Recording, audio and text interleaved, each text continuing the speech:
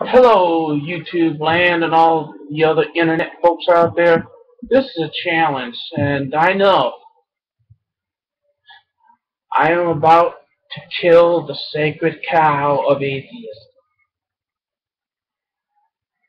But I want to challenge you to show me irrefutable proof of evolution. Not variation in species. Variation in species is a proven fact.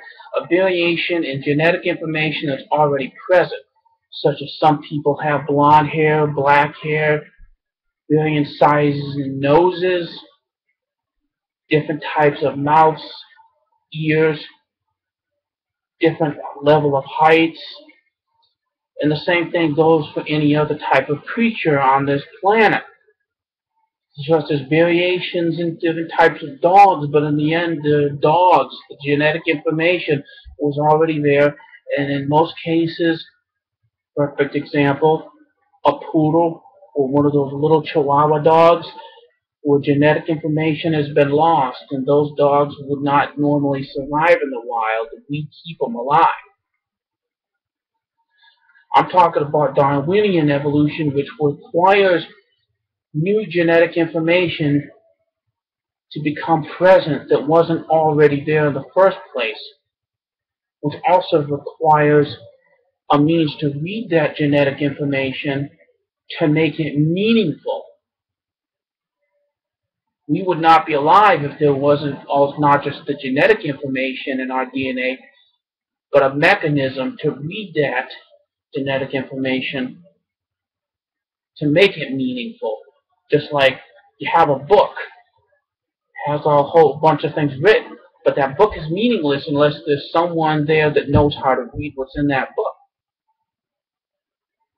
What I'm talking about is irrefutable proof of what is known as Darwinian evolution, when new genetic information has to appear out of thin air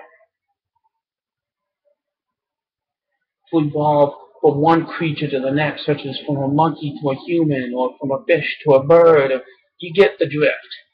I'm, I'm, at least I hope you do. So, show me real proof of Darwinian evolution. I think some call it macroevolution or something like that. Because after several college classes, after exhaustively looking at debates and information on both sides of the issue, creationists and atheistic evolutionists. Frankly, I find that the creationists' arguments are more convincing than what these atheists put across.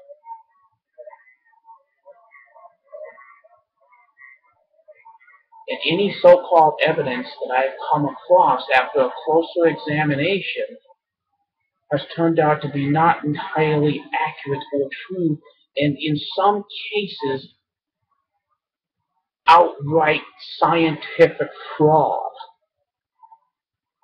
So I challenge you. I'm not looking to no no kitty stuff, no saying, oh, you're stupid because you don't buy into evolution. None of that bullshit. That's childish. Real, irrefutable proof of evolution.